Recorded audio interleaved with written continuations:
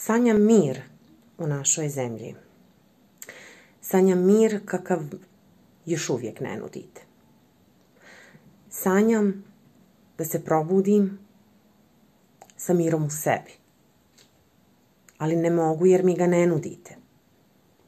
Sanjam mir u kojem svi imamo jednaka prava. U kojem imamo jednaka prava i na zdravstvo, da smo ravnopravni, da imamo pravo na rad.